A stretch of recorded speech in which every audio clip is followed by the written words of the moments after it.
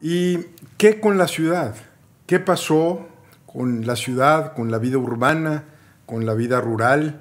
Eh, ¿Cómo diseñamos las ciudades? ¿Cómo vivimos? Y cómo en base a cómo están configuradas y diseñadas, las gentes que viven ahí expresan justamente ese diseño. Hoy tengo de invitado a Gabriel Todd. Bienvenido, Gabriel. Gracias. Eh, eres un, pues un un caso así medio raro, los que me gusta tener aquí en, el podcast. Eres ingeniero civil, urbanista, editorialista, profesor, eh, eres ingeniero civil por el TEC, eres maestro en planeación de transporte regional y urbano. Te voy a dejar a ti decir eh, de, de, dónde, de qué universidad, en francés. Ok, École Nationale de Pont et Chaussée, Escuela Nacional de Puentes y Caminos de Francia. Excelente, pues yo creo que no sé cuántos hay en México así que hayan estudiado ahí, Gabriel. Este, pues sí, sí hay. Eh, uno cuando, cuando yo estaba allá, eh, recuerdo eh, que éramos como cinco o seis mexicanos. excelente, bueno. Y, y ahí, pues, quiero hablar, Gabriel.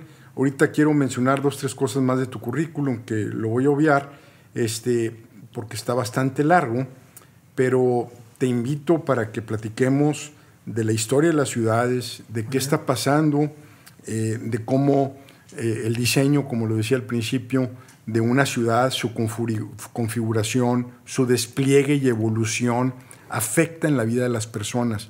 Pareciera que las personas reflejan cómo fue diseñada una ciudad y, y de alguna manera pues también, y esto del COVID es un experimento fenomenal para sociólogos, psicólogos, urbanistas, economistas, y quisiera también hablar un poquito de eso y las implicaciones a nivel personal.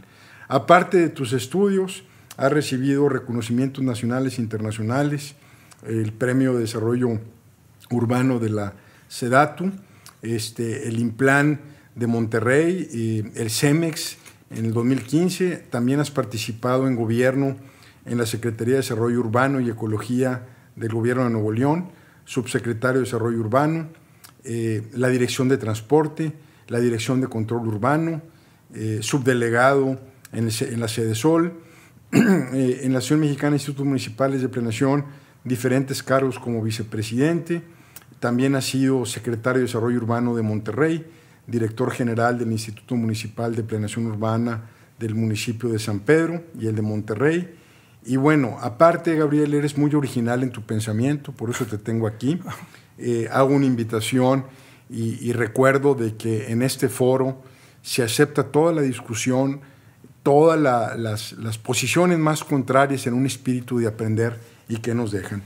Gabriel, bienvenido nuevamente. Gracias, Horacio. Un placer. gracias.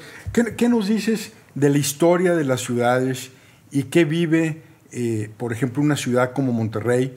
Eh, nos escuchan en muchas ciudades, casi en 300 ciudades del mundo, más o menos en unos 30 países, y estoy seguro que tenemos eh, escuchas en países que se asocian a ser más desarrollados, como por ejemplo Zúrich o como por ejemplo Milán, eh, Barcelona, y también nos, nos escucha gente de Centro y Sudamérica. Entonces, ¿qué constituye una, digamos, una buena, entre comillas, ciudad y una mala ciudad? y por qué se puede pensar que eh, las ciudades más evolucionadas o digamos más avanzadas se diseñan de formas diferentes a cuando simplemente el crecimiento de una ciudad es orgánico y explosivo. Bueno, es un, es un tema muy interesante. Eh, pues lo que es la ciudad es una historia de proximidad, es decir, es un lugar donde buscamos tener cerca el intercambio de mis actividades con las tuyas, es un eh, lugar donde yo busco también convivir. Entonces, es una historia básicamente de proximidad, que es lo que más eh, fuerte eh, gesta las ciudades. También es una historia de cómo sobrevivir a la naturaleza y a los ataques en el pasado de, tribus o de otros países o regiones. Entonces, es un conjunto, es un, es un núcleo donde nos permite estar seguros o al menos sentirnos que estamos seguros, eh, acceder a corta distancia los elementos básicos como el agua, eh, los alimentos, y este, básicamente es cómo nos desarrollamos juntos, cada quien creciendo en lo que sabe hacer y, dando un intercambio, pues que hoy son estas economías, eh, ya cuando la urbe crece. Y este, pues básicamente es eso, ¿no? Es, es, un núcleo de intercambio, de convivencia, de desarrollo. Y por ejemplo, cuando, cuando vemos ciudades que vamos, por ejemplo, a Europa o descubrimos un, unas pirámides eh, en, en, Tikal, este, vemos, bueno, yo veo, y, y tú corrígeme, una similitud entre una ciudad medieval europea y, y una eh, ruina de los mayas este, o de los incas, en el sentido de que son avenidas donde se caminan, donde eh, la gente llega y se mueve, donde se camina. Pareciera que el automóvil trastornó completamente el diseño de las ciudades. Bueno, totalmente. Hay un, una historia de las ciudades antes de la revolución industrial y hay otra que viene después. Totalmente es, es así, Horacio. Por ejemplo, podemos analizar lo que ocurrió con la revolución industrial, cuando estas nuevas eh, empresas, estas industrias eh, altamente contaminantes, eventualmente estaban próximos a las viviendas y nos obligó o nos invitó a empezar a masticar este concepto de la, de la separación excesiva de los usos del suelo, en donde empiezas a separar la vivienda de los usos de otro giro. ¿no? Entonces, eso viene como una de las consecuencias. Inmediatamente después, entrando el siglo XX, vienen los grandes inventos o descubrimientos o procesos médicos donde los habitantes ya empiezan a vivir más años porque se avanzó mucho con los medicamentos, con la medicina, en lo particular con la penicilina.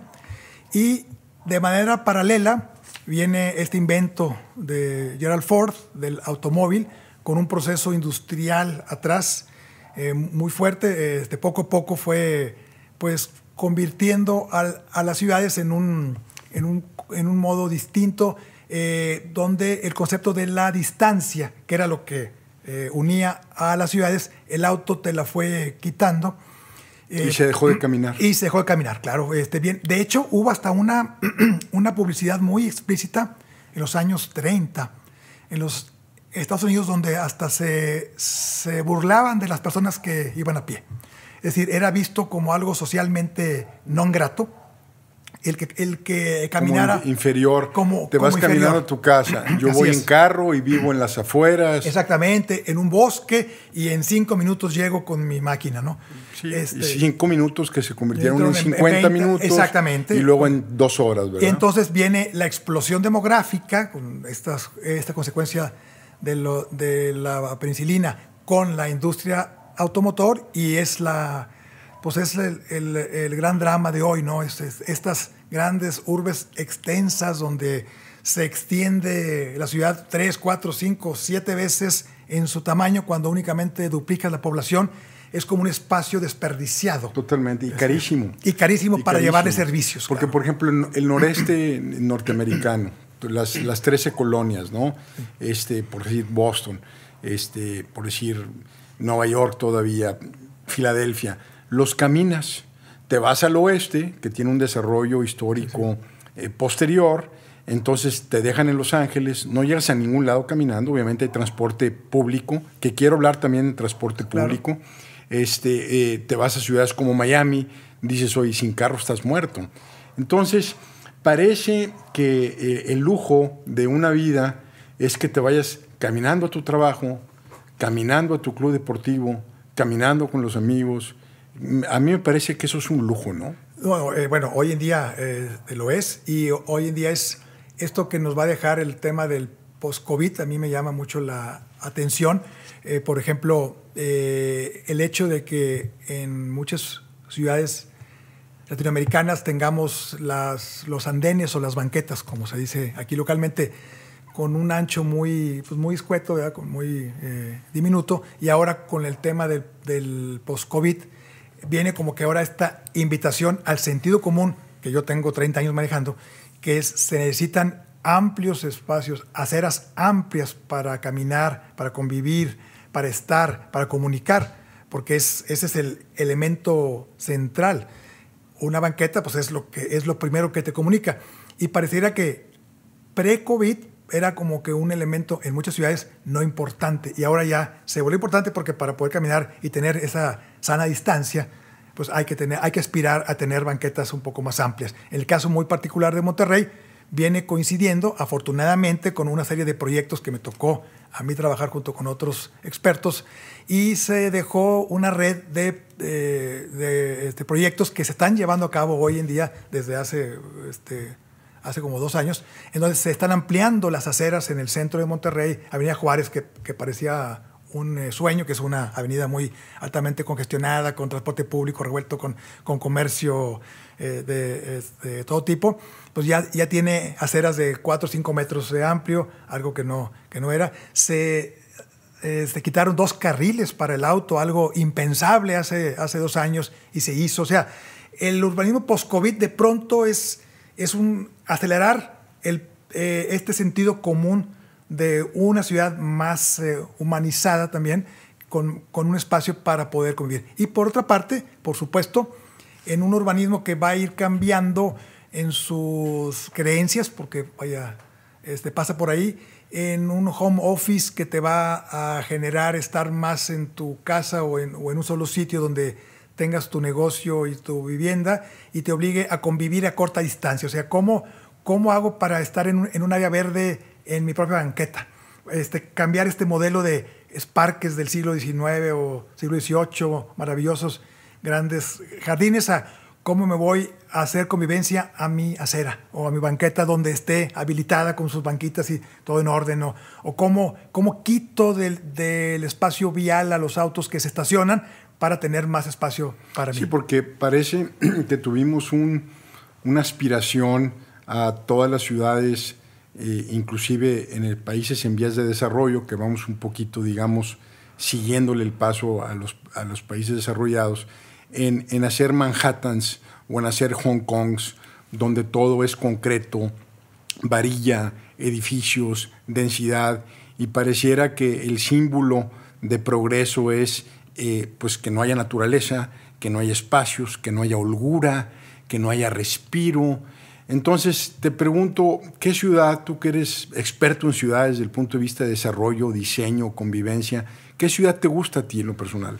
Bueno, a mí en lo personal, yo estudié en eh, París, pues, eh, me encanta el centro de París, soy fan número uno de esa ciudad. También me gusta mucho Florencia, eh, ¿Pero qué tiene de especial París y Florencia? Bueno, tienen esa... ¿Qué, elementos podemos rescatar de esas ciudades para reconceptualizar lo que nosotros aspiramos tener como ciudad? Bueno, eh, yo en lo, particular valoro mucho, y creo que así debe ser, valoro mucho el poder vivir una ciudad, no solo transitarla. Es decir, el hecho, esas ciudades de, que fueron concebidas con el modelo del transporte público original desde la revolución industrial, porque recuerden que Londres fue la primera ciudad que hizo un metro y era justamente en esa época de la revolución industrial. O sea, Europa más bien reaccionó a la modernidad con el transporte público, mientras que América reaccionó con los intereses de la industria automotor. Bueno, eh, eh, eso está muy padre. Déjame nomás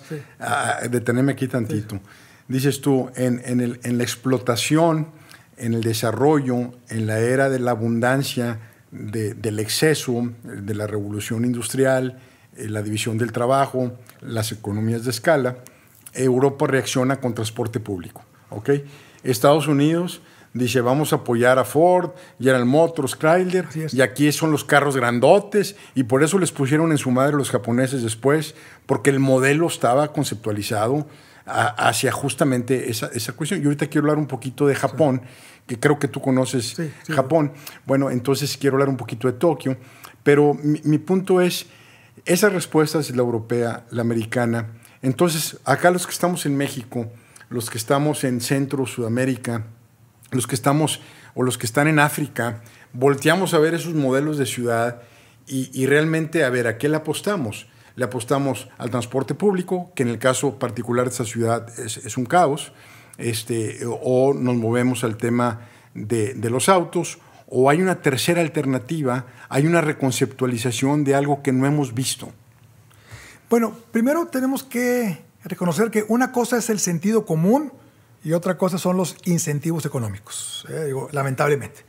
El sentido común eh, que es el más eh, este poco común de los sentidos a veces, pero nos invita evidentemente a tener una ciudad de, escala humana, una ciudad donde todo esté como hoy quieren los parisinos hacerla, a 20 minutos. La, la ciudad donde todo esté a 20 minutos, no más de 20 minutos, donde sean pequeños subnúcleos intensamente dosificados con lo que se necesite para tener el empleo, el trabajo. Como mini, mini ciudades. mini ciudades dentro de las ciudades, vamos a, hacer así. Donde todo mundo que vive ahí esté a 20 minutos de todo. a todo, exactamente. Ese es un poco, ese es el sentido común.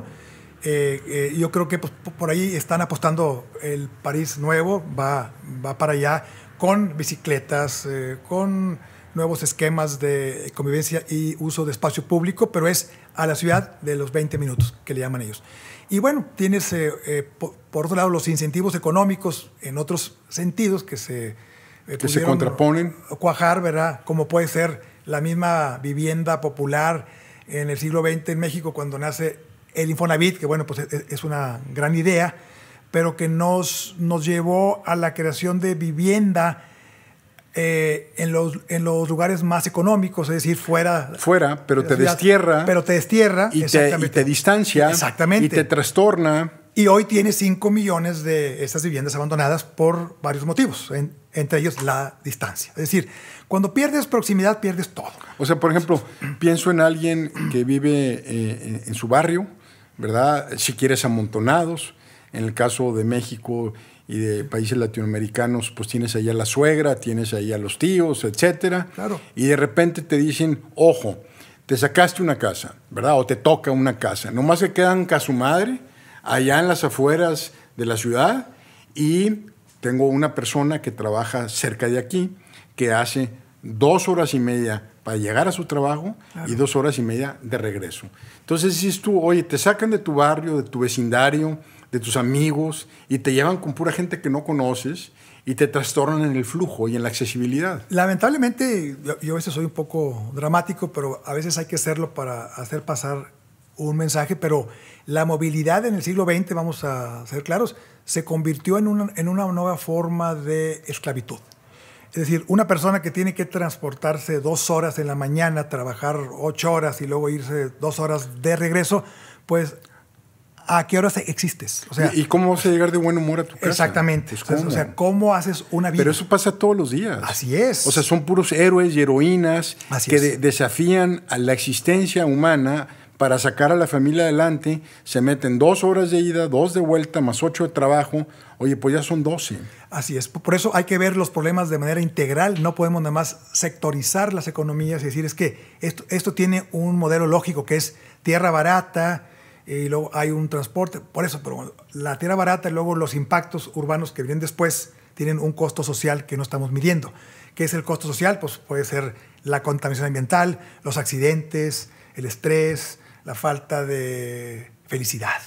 En una sola palabra, que vaya, finalmente todos quisiéramos aspirar a tener una urbe que cuando menos me dé los elementos, ya no para ser feliz, porque pues eso es algo interno, pero cuando menos dónde convivir y dónde expresarme y no nada más dónde estarme transportando, porque a veces eh, eso es parece tu gran terapia, ahí vas de un lado para otro. Sí, entonces, por eso vuelvo a comentar el tema de la riqueza. La riqueza es me voy a trabajar, a mi, eh, me voy caminando a mi trabajo, me voy caminando a hacer ejercicio, me voy caminando a ver a mi familia, a mis amigos, Oye, Gabriel, y a, propósito del transporte urbano, montado en esos diseños de, extender las ciudades, de apostarle a los vehículos o basado en un modelo económico donde las afueras es donde es más rentable construir, entonces destierra a la gente de su barrio, etc.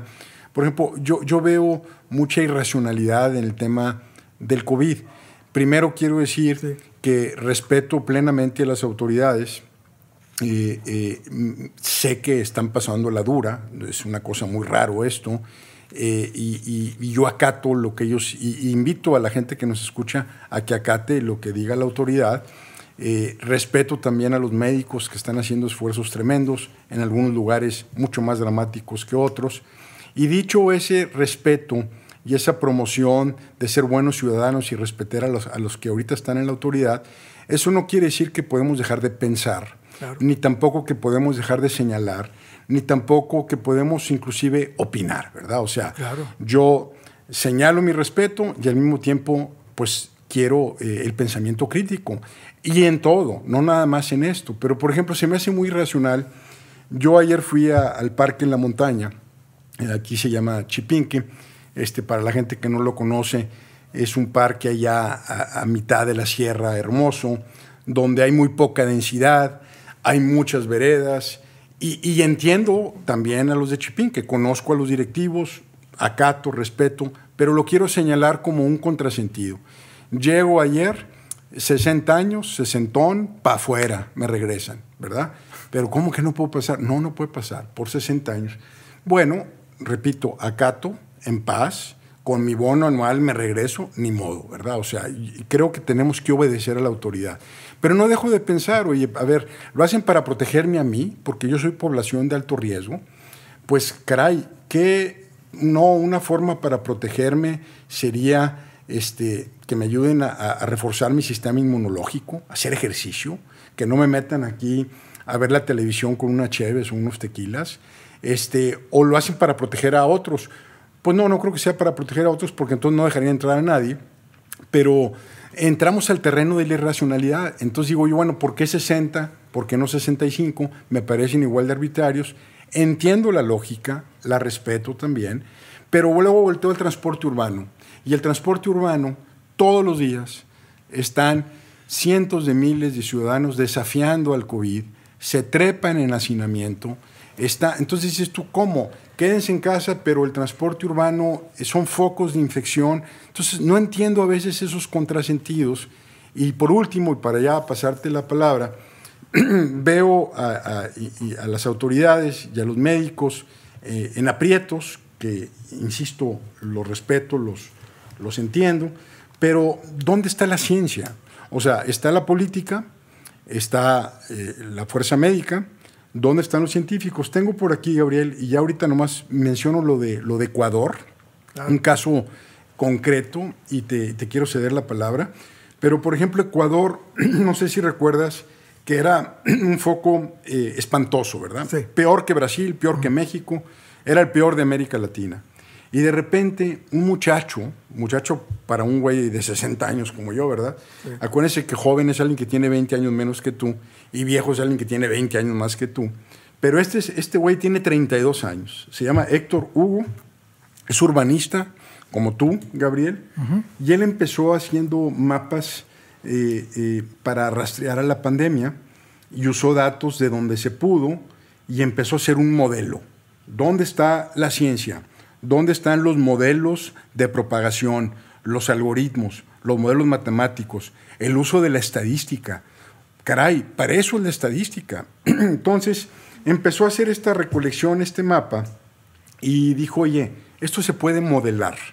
Eh, nos va a cargar la madre en Ecuador, se puede modelar, open source algunas cosas, sus modelos, lanza una convocatoria mundial, le contesta un español, un señor Bort, que le dice, yo te ayudo, güey, vamos a hacer un modelo. Entonces, entre los dos, trabajando a distancia, ¿verdad? Ni se conocían, eh, de repente eh, se conectan con un tal doctor alemán, la cabeza de un grupo de 60 doctores ahí en Ecuador, y le dice, mira, aquí está el mapa y aquí está la estadística.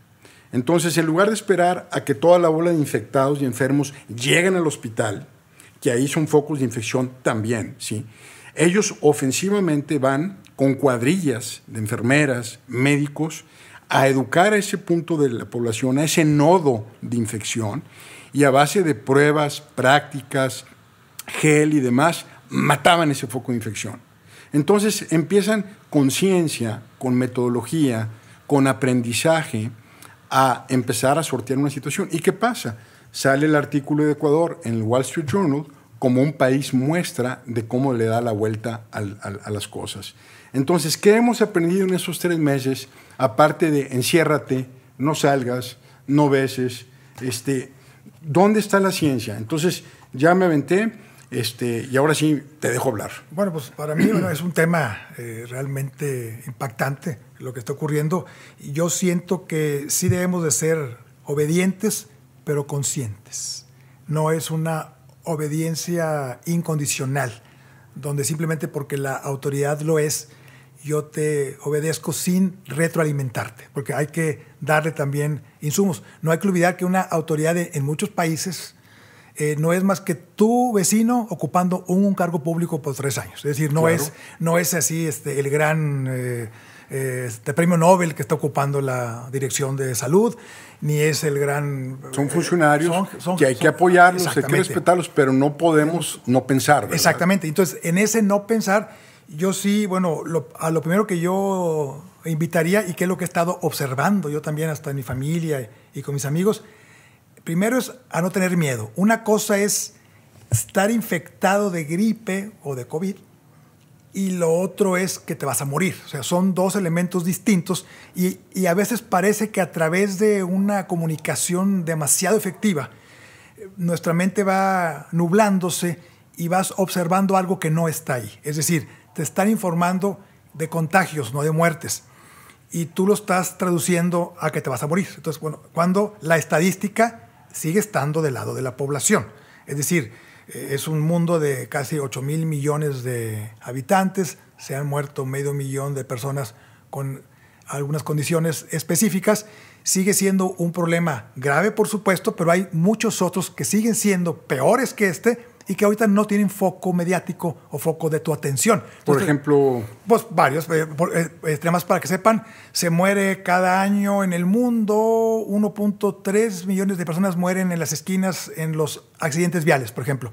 De esos quedan heridos entre 20 y 50 millones de personas, jóvenes mayormente, heridos de gravedad o de, con algo serio por el tema vial. Eh, o sea, es decir, sigue siendo todavía más grave el salir y moverte bajo una óptica pre-COVID que lo que está ocurriendo ahorita. O sea, sería casi como no, no salgas, no manejes porque puedes chocar. Exactamente, exactamente. Es, es el, equivalente. otro dato, no sé si, si lo sabían, pero 8 millones de niños desaparecen cada año en el mundo que lo secuestran por motivos varios que no quiero entrar en detalles. Entonces, bueno, tú tienes... 8 millones, 8, millones de cada niños, año de eh, niños, por digo, temas que no quiero tocar aquí, pero vaya, esto, ah, caray, tengo problemas mucho más graves todavía que este, pero el foco de atención parecería que no está equilibradamente distribuido. Es decir... ¿Y a qué lo atribuyes eso, Gabriel? ¿Cuál? El, que el foco no esté eh, en el lugar correcto. Bueno, pues es un tema... tema humano, de reacción, de alarma. Tiene que ver con... Novedad. Con varios aspectos, según yo, no soy poseedor de la verdad absoluta, soy, soy nada más poseedor de mi propia verdad. Y eso a veces. Entonces, esto, y eso a veces. Entonces, yo lo que puedo decir es que hay una... Es como una especie de ensalada, ¿no? Que tiene que ver de, por un lado, la sorpresa de este eh, el susto, de, el susto. Por otro lado, la política, yo, yo Como el herpes, como el SIDA. Exactamente, como, si fuera... La fiebre, así es. La influenza. Exactamente, como es como que la este, novedad y el impacto, pero también veo la política mal usada en este tema, este, sobre todo la política a nivel internacional, sí me parece que reaccionó de manera equivocada, bueno, es mi humilde opinión. Eh, está también temas de índole comercial también, hay, una especie de eh, como de ensalada que irá saliendo con el paso. irá saliendo. Ahora, eh, eh, el tema de que tú señalas de que hay problemas más grandes, definitivo, yo, yo coincido. y por ejemplo, me llama la atención cómo países como España, como Italia, que eran el escándalo inicial, ahora ya parece que todo lo tienen bajo control. Mencionamos ahorita el caso de Ecuador, ¿sí? Y aquí parece que, que nomás no podemos. O sea, esto, esto va crecientemente, geométricamente creciendo. Y por eso yo te digo un poquito mi frustración, es que ¿dónde está el aprendizaje? ¿Dónde están los científicos? ¿Dónde están los modelos de propagación, la estadística? Y ahora, ahora sí es decir, bueno, hemos aprendido algo en estos tres meses como lo hizo Ecuador. Bueno, eh, yo creo que es muy buena propuesta, yo creo que habría que eh, mejorar o copiar esa, esa idea para poderla replicar. También nos tenemos ya que recuperar de este impacto este, y verlo ya como una, una eh, normalidad, entre comillas, si es que se puede llamar, no me gusta llamarlo así, pero ya hay que adaptarnos y darle la vuelta, porque ahorita lo que está ocurriendo nos está creando caos en muchos aspectos, no solo en lo que tú mencionas, también eh, a, la hora de dispersar los recursos públicos se hacen de manera desordenada, porque estamos en un estado de emergencia. A río revuelto. Y a río revuelto hay caos. Ganancia de pescadores. Pues, este, Oiga, y, que por ejemplo, en el tema urbano, me imagino que se miden varias cosas, como por ejemplo, pues un médico no puede medir solamente una cosa, un piloto no puede medir solamente una cosa. En el tema urbano debe estar la proximidad, la accesibilidad, los tiempos de transporte, eh, quizás una mezcla de, naturaleza con, urbanismo, etc. Yo también otro planteamiento que veo es eh, el costo económico del encierro. Hace cuenta, eh, entiendo y nuevamente hago un voto por obedecer a las autoridades, pero no necesariamente podemos dejar de pensar pero veo que hay un foco enorme en el número de infectados y en los muertos. Entonces digo yo, desde un punto de vista de estrategia, donde tú analizas y haces síntesis de información, tú comparas escenarios. Entonces, aquí tenemos en un lado eh, los infectados y los muertos, que hay modelos estadísticos que te dicen exactamente cuál es la población que debe de cuidarse más, pareciera que está polarizado dónde están las muertes, aunque hay excepciones naturalmente. Pero ¿cuál es el otro lado de la ecuación? Bueno, eh, drogadicción en, aumento. Inseguridad. Inseguridad, violencia doméstica, abuso infantil, alcoholismo, eh, adicción a la pornografía, adicción al juego, ludópatas, hay gente que se está acabando el dinero eh, picándole en la computadora a cosas. Entonces dices tú, en el, integral, en el integral de, caray, eh, la idea ranchera de sale más caro este, el caldo que las albóndigas o sale más caro la solución que, eh, que en el remedio que, que no hacerlo. Entonces, yo sé que está bien complejo, no está fácil. No. Eh, no, no, no, pretendo que tengamos la solución, ni mucho menos, pero sí es una situación que dices, oye, eh, ¿a dónde va a llegar esto? Porque mientras no veamos que hay un aprendizaje, este, entonces parece que nos vamos a estar repitiendo por los siguientes dos, tres años, aplanando la curva, aplanando la curva, aplanando la curva, y todo el mundo pues ya volviéndose loco y muertos, pero de otra cosa, ¿verdad? Eh, bueno, efectivamente acabas de este, pues tocar un punto muy importante. Yo creo que llega un punto donde tenemos que asumir también la responsabilidad de vivir, es decir, no es nada más lo que diga la autoridad, sino ya llega un punto donde bueno, vamos a normalizar esto. Yo sé que hay cierto riesgo, pero tengo que trabajar. Vamos a quitar un poco el drama. El, 60% de, de, la gente de la ocupación en México laboral es empleo informal. Es gente que vive al día. Claro. Y bueno, ellos finalmente si, si dejan de trabajar, pues dejan de llevar soporte económico. ¿Cómo, le hacen? Entonces, yo por eso digo que en una visión integral, ya lo dijo el otro día en un, eh, en un Zoom que tuvimos Hernán Villarreal, que es un doctor en economía del transporte, hizo un análisis integral costo-beneficio de los impactos aquí eh, locales, y él inicia diciendo, bueno, efectivamente el encierro, o sea, vaya, el, contexto integral sí sale más caro un encierro prolongado que lo que nos puede ocurrir. Entonces sí, sí hay una invitación a que tenemos que moderar esto. O sea, él, concluye que el daño del encierro va a ser eventualmente mayor. Puede ser eventualmente mayor si le seguimos como... Si le seguimos a base de te abren, te, encierran, te abren, te encierran. Así es. Y, bueno, pues sí, no, no está fácil. No, no, no, no, está fácil. ¿Ves tú alguna especie de cambio? Eh, eh, haz de cuenta el espíritu de los tiempos, ¿verdad? El, Zeitgeist, ah, como le llaman los alemanes. Claro, claro. Ahorita antes de que arrancáramos este, estábamos hablando del arte, de cómo el arte refleja el espíritu de los tiempos. Parece que esto que está pasando va a influir definitivamente en el arte, en la literatura, en las películas. Cambiará o nos forzará o nos acelerará a pensar eh, en una ciudad diferente, un poquito más humana, eh, con más escala humana, que me gustaría que hablaras un poco más qué significa escala humana. Escala humana, muy bien. Bueno, eh, antes que todo, sí, definitivamente, entre las cosas positivas que tiene el COVID. Que todo tiene su. Sí, claro, siempre, todo tiene su. Es más, y la vida es la suma de todo, no, no es la separación de los elementos.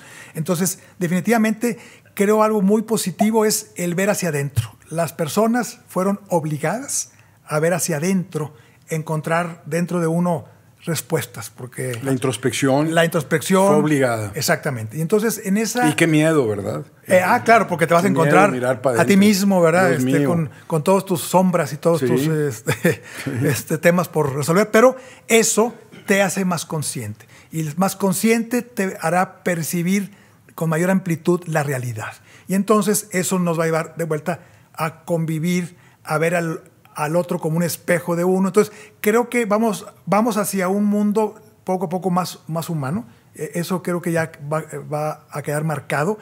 Vienen tiempos mejores en el futuro, yo lo veo muy claramente. Obviamente no es. Aprendizajes, este madrazo. no, es claro. Pues, algo nos tuvo que haber enseñado. Así es, nos va a hacer más, más humanos. Ahora sí, viendo el tema de escala humana, pues escala humana no es más que un término que se usa en la ciudad para er, una, una ciudad que está pensada al tamaño de una persona, no al tamaño de la velocidad de un auto. Es decir, el lugar Parece que el, auto es, es, es, el, origen, es el design thinking. Exactamente. O sea, se, se, diseñó una ciudad alrededor del auto en lugar de la persona. Exactamente. O sea, por ejemplo, ¿por qué poner eh, los anuncios panorámicos eh, enormes para que los veas desde el auto cuando en teoría pues es para que la persona lo vea en la esquina, entonces pues es una escala distinta.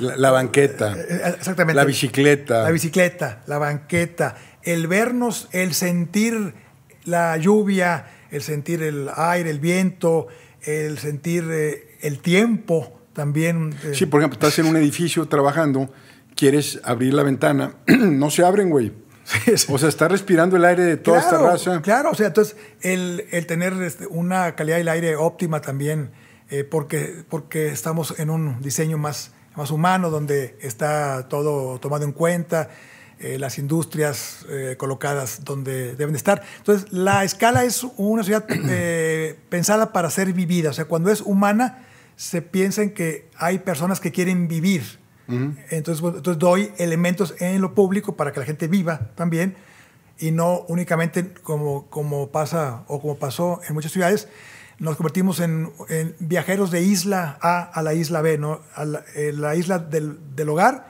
vas por un mar de concreto o asfalto al punto B, que es una oficina, y luego de ahí a una reunión en el punto C, en un mar salvaje de tiburones metálicos moviéndose de un punto a otro, ocupando el 90% del espacio público, ¿no? Pues como que es una locura, ¿no? Pues sí, suena, eh, como lo narras, como que pues estamos locos de haber diseñado esto. Eh, bueno, este, en términos de calidad de vida, sí, eh, estuvimos locos. Y por ejemplo, ¿qué, va a pasar con la industria automotriz en el futuro? Tú ves, están los Ubers, los Didis, este, bueno, está el reto del transporte urbano en ciudades como esta, que pues hay mucho que desear todavía. Claro. Pero tú crees que la supremacía del auto eventualmente se da? Y yo creo que va a haber un cambio, va a haber este, un, menos explosividad, es decir, va a haber cambio en el tipo de autos, va a haber autos eléctricos. Eh, Más chiquitos quizás. Y luego va a haber un incremento de la micromovilidad eh, local. ¿Qué significa la micromovilidad? Ah, perdón, la micromovilidad, pues, este, estos, el, este, moverte en, tu scooter, en tu patineta, ah. en la bici, porque vas creando micro ciudades dentro de tu, de tu municipio, microelementos. Entonces, esa, esa eh, escala de la ciudad que te digo de los 20 minutos te puede aportar que eventualmente vayas en un instrumento de una movilidad que no es el auto o un auto más pequeño. Bueno, eventualmente nos vamos a adaptar y el mercado se va a, adecuar. Pero, eh, todo eso, eh, la forma en que te desplazas, en la que vives, en la que llegas de un lugar a otro, como lo narraste ahorita, de la isla a otra isla, eventualmente te impacta en tu vida personal eh, en tu ánimo cuando llegas a casa, claro. en tu ánimo cuando caminas. Entonces hay ciudades que tú llegas y te sientes a todo dar. Hay ciudades que dices, pues algunas ciudades de California, eh, ahí hice mi doctorado, por ejemplo, y dice, oye, qué padre, pueblitos como San Rafael, Los Gatos, este, Carpinteria, dices tú, oye, y ahí todo el mundo se sonríe, se saluda, son amables. Y te vas a Manhattan y te subes un taxi y que Dios te bendiga, ¿me entiendes? O sea, dices, pareciera que la ciudad nos construye. Nosotros construimos a la ciudad, pero eventualmente la ciudad nos construye a nosotros. Totalmente, y yo siento que vamos a tener eh, un impacto también en ver, en ser más creativos con el diseño de la calle. Por ejemplo, yo veo calles que de pronto puedan estar repletas de árboles y únicamente un pequeño carril para el auto, por ejemplo, o, una calle completamente para el transporte público y para los eh, locales. O sea, ya, eh, ya no va a ser este eh, conjunto de calles donde todo es para el auto y ahí todo el mundo pasa en todas las calles, ¿no? Vamos a poder segmentar un poco. Segmentar. veo que traes guayabera. Sí.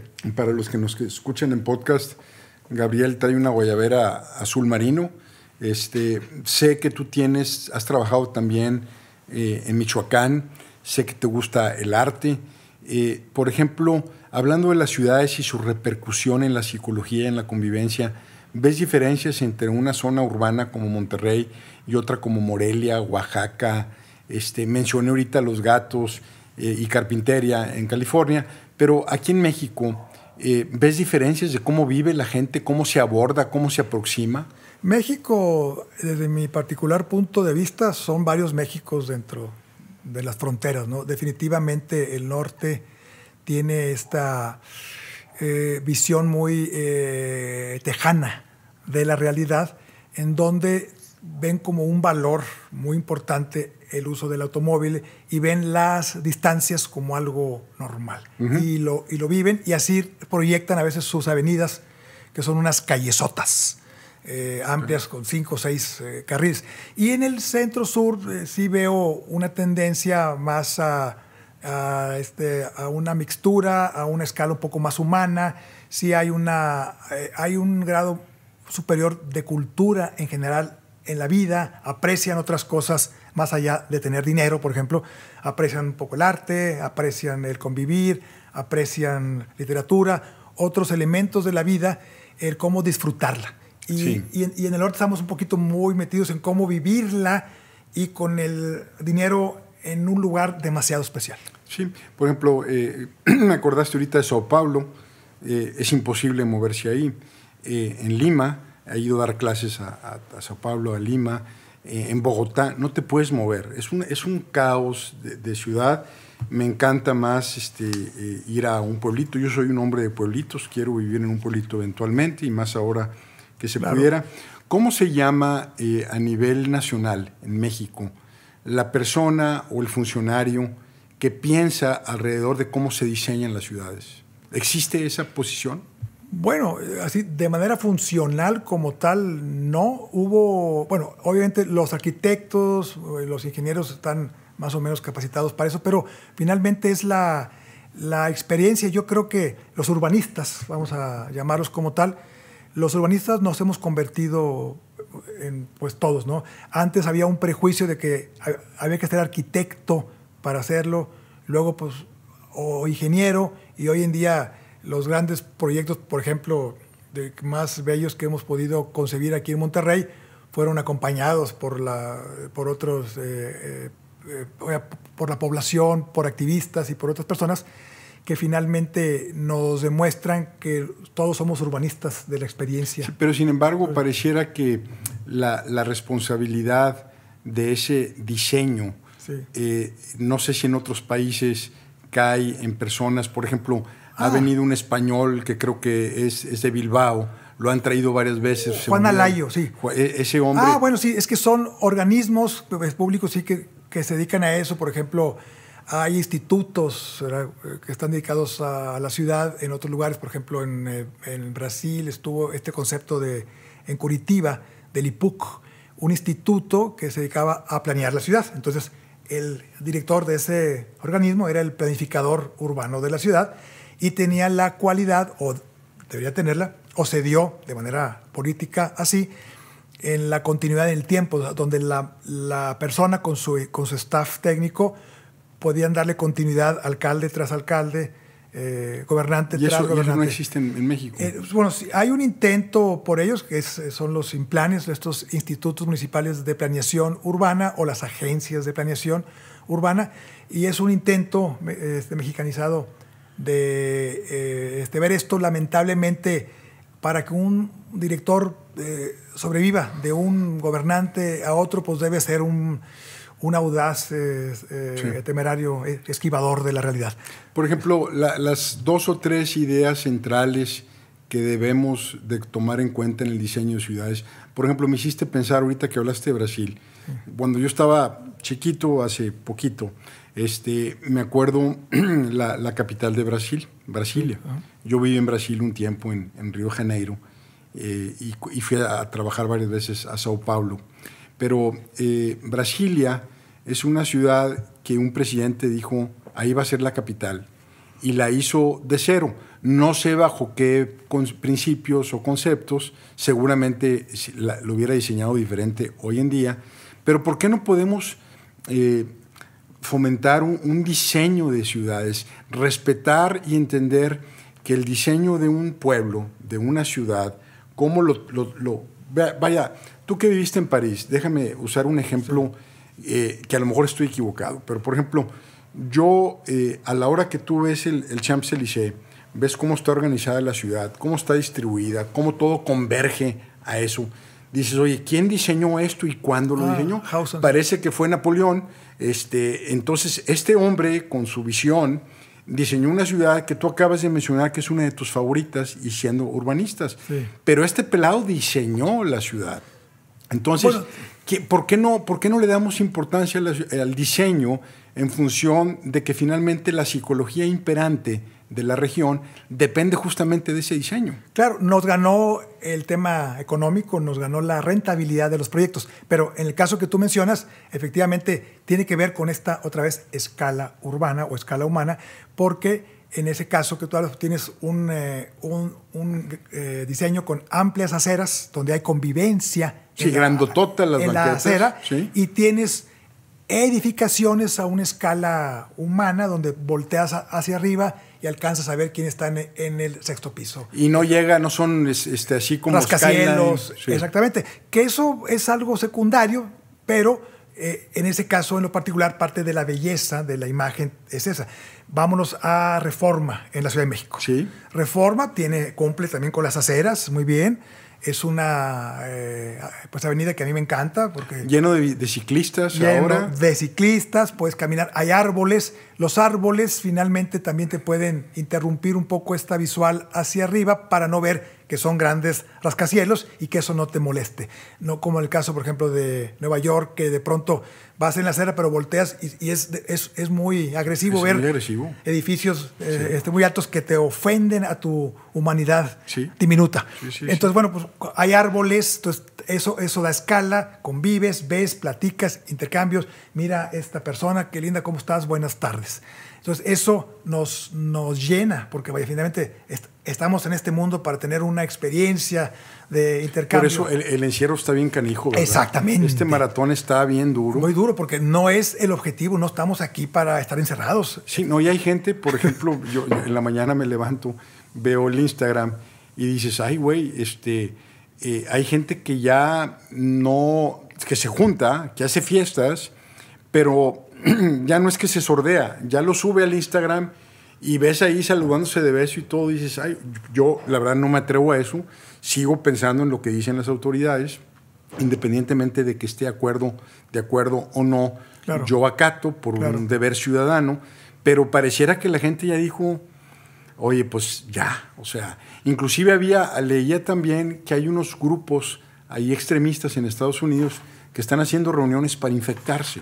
Eh, lo- la raza dice, ya, chingue su madre, o sea, va- vámonos, ¿no? Yo, yo soy en una postura intermedia en el término de decir, mira, mientras no tengas miedo, actúa en consecuencia, pero Y respeta el derecho sí, de otro. respeta al otro, pero no tengas miedo, porque no tienes derecho a tener miedo, porque estadísticamente sigues teniendo de tu lado a las matemáticas. Eh, que alguien se infecte no significa nada este, eh, fatal. Han muerto medio millón de personas en el mundo, somos casi 8 mil millones, saca el índice. Entonces digo, tampoco es para como para estarse preocupando de más. Vive. Sí. digo, y tampoco, eh, insisto, mandar un mensaje de que hay que subestimarlo. No, no, para nada. O hay que revelarnos, pero sí la debida proporción. Miedo no. Y final de cuentas, pues para eso se inventaron las matemáticas y las estadísticas. Sí, exactamente. Muy bien, Gabriel. Oye, eh, tú que vives aquí en, Monterrey, que es una ciudad eh, complicada, más o menos que en la metrópoli, metrópoli completa, que 5 millones de habitantes, en menos, millón. Menos unos, ah, bueno, no. Eh, este, en Estados sí 5, pero ahorita debe ser como, no sé, unos 4. 4, bueno, por ejemplo, ¿tú, ¿tú has pensado en vivir en otro lugar? Sí, definitivamente. Eh, y, por ejemplo, ¿qué, ¿qué, te gustaría? Pues un lugar como los que tú acabas de describir, algún lugar donde pueda caminar, eh, un lugar donde pueda hacer una vida sin tener que subirme a un automóvil, una vida donde pueda respirar aire limpio, una vida donde pueda decir buenas tardes y buenos días, eh, sentarme en un café eh, un ratito a ver pasar gente, eso me gusta. Eh, es decir, pues, finalmente sí, sí busco, soy más de centro de, de, México, de sur, me gusta un poco más eso. Y por supuesto Florencia, por supuesto París. Si eh, este, la vida por allá me lleva, pues yo encantado. Pues no estaría mal, ¿verdad? este, aquí un punto, eh, la, tecnología y la conciencia, ¿a dónde, ¿hacia dónde tú ves que va esto? ese es muy buen tema porque eh, yo percibo en lo que alcancé a vivir en el siglo XX y lo que estamos viendo ahorita, la tecnología rebasó nuestra conciencia, es decir, rebasó nuestra percepción de la realidad. Entonces, bueno, más quiero interrumpir, Gabriel. Eh, para los que nos escuchan, Gabriel aparte eh, eh, es un hombre muy de alta espiritualidad, es un hombre que estudia, que sabe, que sabe de física cuántica, somos amigos de hace ya muchos años. Entonces, por eso hago este warning o este decir, Gabriel es un hombre que también sabe de esto. Entonces, perdón que te haya interrumpido. ¿Quieres volver a repetir lo que estabas empezando a decir? Ah, bueno, decía yo que finalmente la conciencia, la conciencia iba o fue eh, un paso atrás de la tecnología. Había más tecnología de la que en teoría nuestra conciencia podía absorber. absorber y eso nos lleva a darle un uso que de pronto se vuelve contra uno mismo, ¿no? O sea, eh, eh, eh, hablemos desde las bombas atómicas hace, hace años, hablemos de la propia contaminación ambiental, hablemos de estas, estos aparatos también. Sí, donde todos hemos aquí ya, ¿verdad? y todos con problemas de espalda. Exactamente, o sea, es decir, este falta de conciencia pareciera como si nos, nos van dando una tecnología que va un poco más rápido que nuestra conciencia. Sin embargo, la conciencia crece con los retos, la conciencia se expande ante el dolor y el sufrimiento. Creo que el COVID nos va a buscar que esto se empareje. yo yo este, así lo veo. Y finalmente poder crear, crear una vida más eh, integral y más de donde quepan todas las variables. Eh, yo creo que una ciudad debe ser diversa, ni una cosa es buena ni la otra, sino la sumatoria de todo. Este, finalmente lo que importa no es lo que yo piensa y lo que yo experimente, sino cómo sumo, cómo acoplo también las experiencias de los demás a mi vida para yo ser mejor. Excelente, excelente. Pues muy bien, Gabriel. Eh, yo creo que estamos ya más o menos en, temas de cierre. ¿Hay algo que tú sientes que es que no se haya mencionado desde el punto de vista de diseño urbano, de convivencia, de la escala humana que mencionaste? Eh, algo que nos quieras dejar o, que quieras este, reclamar o que quieras este, sugerir este, para que nosotros, eh, vaya, si no nos podemos mover de ciudad por razones de trabajo, por razones de familia, eh, ¿cómo podemos hacer el día a día sin tenernos que ir a, un pueblito del centro de México, así, refugiados? Eh, yo soy medio ermitañón, pero por ejemplo, ¿qué podemos hacer hoy aquí? en medio de esto que estamos viviendo y que eventualmente pues vamos a tener retos adicionales. ¿no? yo creo que va a ser muy importante hacer, leer, eh, ver videos, eh, inculcar un poco el conocerse hacia adentro. Creo que va a ser una época donde es importante el valorar lo que es verdad en realidad, eh, dejar de valorar eh, lo que es aparente, eh, ver hacia adentro, inclusive enseñar a los niños a que controlen sus emociones, que controlen sus pensamientos. Es decir, ver hacia adentro creo que va a ser muy útil y es algo que creo que nos va a poder sacar adelante y, y el COVID, si nos va a dejar algo positivo, creo que puede ser eh, seres humanos más conscientes. Y la conciencia tiene que ver mucho también con, con este eh, control emocional, y no digo control de no sentir emociones, sino este, saberlas manejar. Manejar también el volumen mental el manejar volúmenes mentales más enfocados en tus actividades y no andar como gallina descabezada corriendo por un lado respondiendo a los bip bip exactamente o sea te vibra la pierna y, no traes el celular siquiera dices ay güey exactamente o sea este darte importancia que tú vales mucho que tú eres muy importante y mereces respeto y mereces darte tiempo para ti. Creo que eso es algo importante. Yo, yo quisiera hacer, ir cerrando Gabriel. Por ejemplo a mí me, me impactó mucho lo que dijiste de que Europa eh, se diseñó alrededor de la revolución industrial con transporte urbano eh, colectivo y en el lado de América fueron automóviles. Entonces es como la supremacía del automóvil, ¿no? Entonces, eh, así, por ejemplo, yo estudié administración de empresas en mi carrera y luego hice algunos otros estudios, pero al final de cuentas salgo y digo, oye, estamos obedeciendo a un modelo de hiperespecialización de división del trabajo, principios de revolución industrial, principios de la administración científica, y en el primer fregazo que tienes, eh, después de vivir en la nube, después de vivir en la apariencia, después de vivir comparándote en posición relativa con otros, en el primer madrazo que recibes, una pérdida este, grande, dices, oye, ¿sabes qué?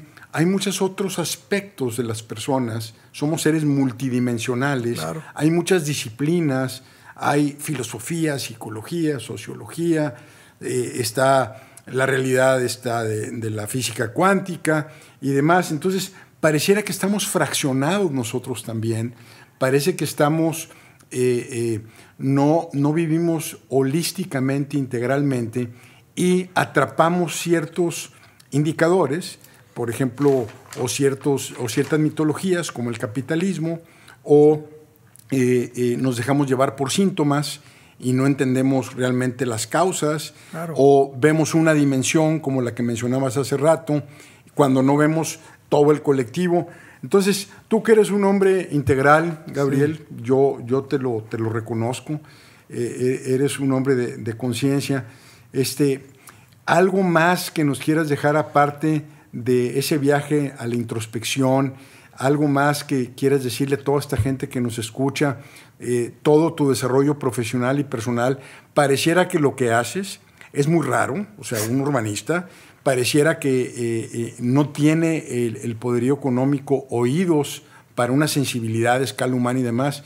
Entonces, ¿Cómo le haces? ¿Qué, ¿Qué, nos dices finalmente? ¿Cómo te despides, Gabriel? Bueno, pues eh, yo me despido simplemente diciendo que hay que estar abiertos a la evolución, hay que estar abiertos a nuevas experiencias, a la innovación, inclusive en la vida personal, eh, a tener imaginación, a entender que lo que nos enseñaron en el pasado muy, eh, este, probablemente ya no es válido hoy, nada más que no, no nos hemos dado cuenta de leer un poco, de investigar.